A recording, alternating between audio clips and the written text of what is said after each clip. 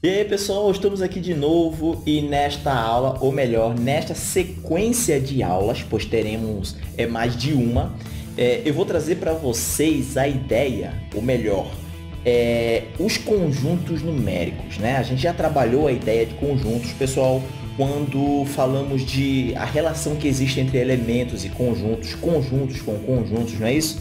Então agora chegou a hora de conhecermos os números, tá? Então a gente vai conhecer os conjuntos é, dos números, as coleções de números que possuem a mesma características, as mesmas características. Tá ok? Então a partir de agora vamos dar início a uma sequência de aulas sobre conjuntos numéricos. Antes eu chamo você para curtir é, este vídeo, tá ok? Pois isso é muito importante para o nosso projeto. Curtir também é, ou melhor, né, se inscrever no canal, pessoal, e ativar o sino aí caso queira ficar atualizado é, de tudo aquilo que está acontecendo aqui no nosso canal. Tudo bem? Então, se você quer receber as atualizações do canal, ative o sino e aproveite aí para se inscrever no canal também. Tá ok? Então, vem comigo. Então, qual foi a forma mais interessante que eu achei de mostrar os conjuntos numéricos é, para vocês? Pessoal, essa primeira aula aqui da sequência, eu achei interessante mostrar todos os conjuntos, ou seja, mostrar para vocês o todo e depois a gente vai agir em cada partezinha dessa aqui. Então, vocês precisam entender que a gente precisa é, chegar ou conhecer o conjunto dos números reais, tá ok? Além disso aqui, ainda existe né, o conjunto dos números complexos, que vamos trabalhar em uma aula à parte. Tudo bem, pessoal? Só que eu acho importantíssimo vocês enxergarem antes é, o todo. Então, vocês estão vendo aí onde a gente vai chegar. Vamos conhecer o conjunto dos naturais, o conjunto dos inteiros, racionais e irracionais e, por fim, os reais. Tá ok? Então, eu vou apresentar aqui de maneira sucinta cada um. E nas próximas aulas vamos trabalhar com cada conjunto. Por quê, pessoal? Eu achei interessante falar é, ou trabalhar os conjuntos numéricos dessa forma. Porque cada conjunto desse aqui existe uma propriedade, existe, é, tem a sua definição. Então, a aula iria ficar um pouco longa. E eu gosto sempre de mostrar o todo e depois agir em cada parte. Tá ok? E eu pergunto para vocês, né? O que seria o conjunto dos números naturais? Os naturais, eles surgem naturalmente, ou seja, quando os homens, é, o ser humano, ele precisa, ele, é, ele avança um pouco a ideia matemática que é, traz consigo o desejo de contar. Então, quando a gente precisa contar, utilizamos os números naturais. E quem seriam eles? Olha só, é, o zero é um número natural, tá? o 1 um é um número natural, o 2 é um número natural, o 3, o 4 e assim sucessivamente. Isso aqui continua. Então, todos os números positivos é, e o zero, então quando junta todo mundo aqui, eles, é, não só os positivos, a gente chama de dos inteiros positivos, já vamos chegar neles, tá? Então, os inteiros positivos aqui, é, e com isso, né, claro, incluindo aqui também o zero, formam o que a gente chama do conjunto dos números naturais. Então, podemos representá-los aqui, ó. Então, o zero, o 1, um, o 2, o 3, o 4 e assim sucessivamente, pois continua, e esse conjunto ele é infinito forma o que a gente chama de conjunto dos números naturais. Perceba que na representação aqui que eu achei interessante mostrar para vocês, os naturais, eles são, né, é, esse conjunto ele é um subconjunto do conjunto Z. Esse Z aqui é do conjunto dos números inteiros, tá ok? Então, vamos colocar aqui, ó, isso aqui é o conjunto dos números inteiros e a letra que representa esse conjunto é a letra Z. Pessoal, quem seriam os inteiros? Os inteiros seriam, além dos naturais, perceba que os naturais é um subconjunto de Z, além dos naturais, os opostos, os números simétricos a esses naturais. Então, por exemplo, o menos 1, o menos 2, o menos 3, o menos 4, o menos 5, menos 1000, todos os opostos aqui, os simétricos dos naturais, certo? Aí você vai dizer, ó, menos zero não? Não, porque o zero ele não é nem positivo, nem negativo. Então, o zero aqui é um, é um elemento, é, é um nulo, né? Ele é nulo, ele não é nem positivo, também não é é negativo. Então, o zero ele é inteiro e também é natural. 1 um, ele é inteiro e também é natural. Menos 2 ele só é inteiro, não é natural, tá? Mas quando juntamos todos esses números aqui, pessoal, temos os chamados aqui, né? Ou o chamado conjunto dos números inteiros. Então, vamos colocar aqui, ó, além do zero e os naturais, 1, 2, 3, 4 e assim sucessivamente, temos aqui também os seus opostos, o menos 1, o menos 2, né? e assim sucessivamente podemos continuar aqui, pois o inteiro também é um conjunto infinito. Tá ok, pessoal? E assim, ó, é interessante a gente entender que esses conjuntos eles vão sendo criados com a necessidade que o homem tem de contar. Então, imagine é, que você tenha uma dívida de 10 reais. Para representar essa dívida, utilizamos o um número negativo. Tá? E não é possível apenas com os naturais chegarmos a, ou melhor, representarmos um valor negativo. Porque assim, ó, pessoal, é, a gente vai trabalhar isso nas aulas específicas tá? de cada conjunto, mas se você é, somar dois inteiros, você tem um inteiro. Multiplicar dois inteiros, você também tem um inteiro, sempre. Agora, subtrair, isso nem sempre é, positivo, né? é, é possível. Por exemplo, 3 menos 2 é possível, a gente chega a um inteiro. Agora, se você inverter ali 2 menos 3, você não tem um número dentro dos naturais é, para representar essa operação. Então, por isso, né, foi necessário criar o conjunto dos números inteiros.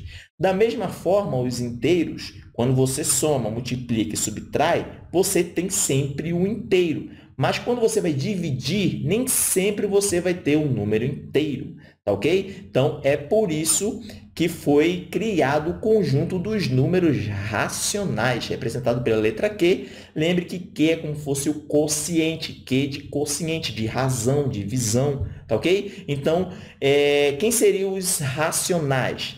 Pessoal, olha só, os racionais, perceba que os inteiros e os naturais, eles formam, né? Eles são subconjuntos do conjunto dos números racionais. E quem seriam eles? Pessoal, todo número que pode ser escrito através de uma divisão ou de uma fração, onde aqui o numerador e o denominador também são inteiros, só que com um detalhe, o y aqui, o denominador, não pode ser zero.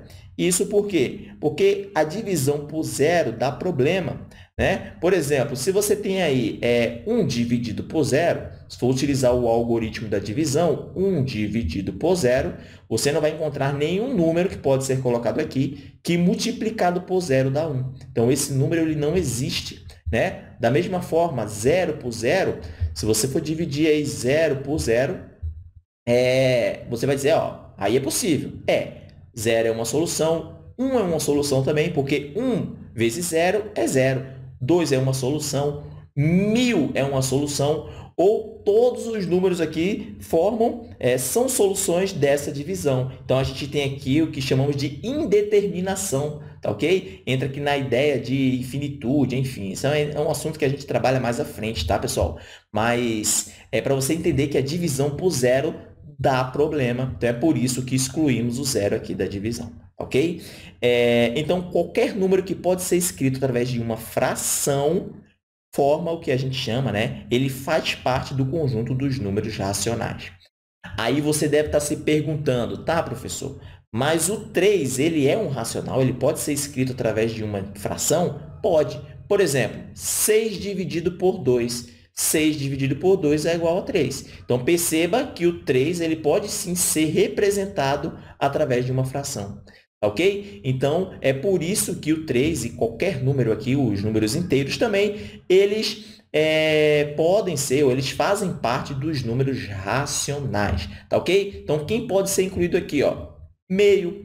É, além dos números inteiros e naturais, né? o meio, o 0,3, uma dízima periódica, olha só, pessoal, muita gente se confunde com isso aqui, ó. 0,333, isso aqui é uma dízima periódica, tá? Em uma aula específica, é, ali no conjunto dos números racionais, vamos falar como transformar uma dízima periódica em uma fração. É, você que já estudou esse assunto vai saber que 0,333 é a mesma coisa que um terço. tá ok? Então, perceba que esse número ele pode ser representado através de uma fração. E se esse número, pessoal, e aqui está a dúvida de muita gente, se qualquer, se um número ele pode ser representado através de uma fração, então ele é sim um número racional. Agora, existem números como, por exemplo, o π, né? Quem nunca ouviu falar do π? Vou até colocá-lo aqui, ó. O π, ele é um número que não pode ser representado através de uma fração. Se você conseguir achar uma fração que dê exatamente o valor de π, por favor, mande para mim, que eu vou avaliar. E, né? Claro, eu vou dar os créditos para você e a gente vai ficar um pouco rico aí. Né? Eu acredito que a gente vai ficar rico, porque a gente vai encontrar algo que ninguém encontrou até hoje. Tá? Então, é, se você encontrou aí um número, uma fração, que represente o π, que dê o valor de π, tá? me diga que a gente vai trabalhar bem aqui e eu acho que a gente vai ganhar dinheiro.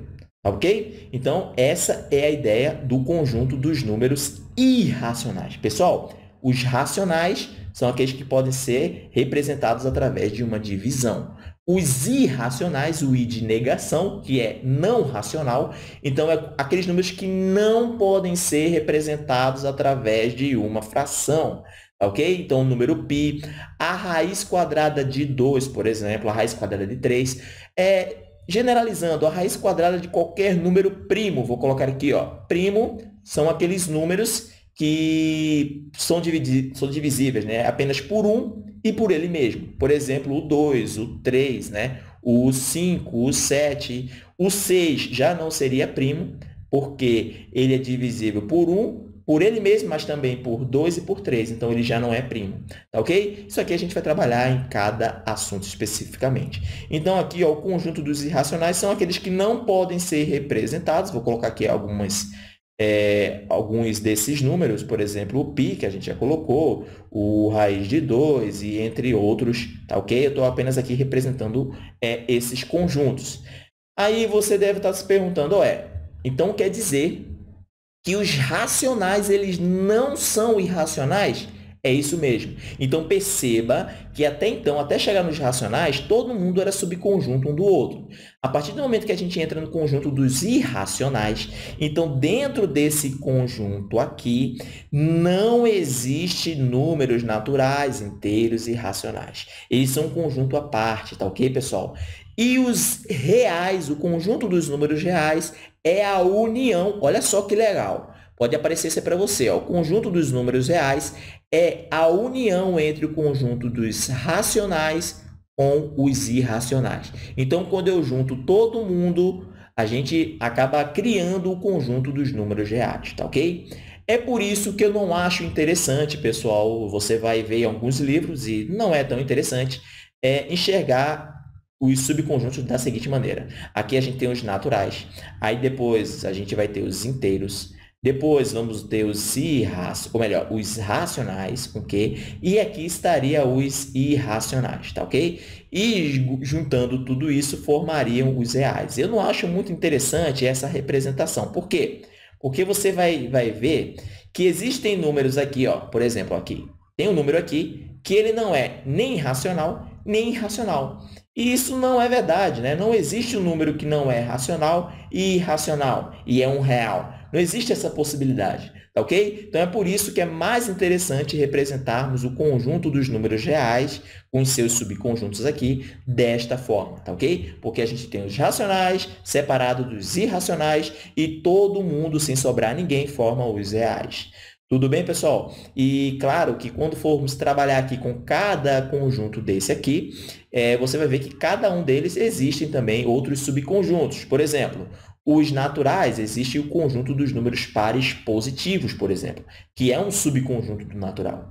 Nos inteiros, também temos o, o conjunto dos números pares, e aí temos o menos 2, o menos 4, o 2, o 4, que também é um subconjunto de Z. Aí a gente vai ter aí, ó, o conjunto dos números, é, conjunto aí dos números é positivo, dos inteiros positivos, dos inteiros não negativos, que é uma coisa diferente de outra, é, o conjunto do, dos inteiros é, não nulos, enfim, pessoal, existem vários subconjuntos e a gente vai trabalhar isso em cada aula separadamente. Tá ok? Então, eu espero que vocês tenham entendido mais ou menos a ideia geral é, dos conjuntos numéricos, ou seja, onde a gente vai chegar, começando com os naturais e terminando com os reais, tá ok? Então você percebe aí a imensidão que é, é o assunto, né, conjuntos numéricos. E muita gente não dá bola por isso aqui. Isso aqui eu digo para vocês que é uma das bases, é um dos alicerces principais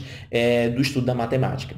Tudo bem? Então eu espero que vocês levem muito a sério é, essa sequência de aulas, pois isso aqui, pessoal, é a base das funções. Então a gente precisa conhecer os números para sabermos as relações que existem entre eles, ok? Por isso que eu trago para vocês primeiro os conjuntos numéricos antes de entrarmos aí é, nas frações, ou melhor, nas funções.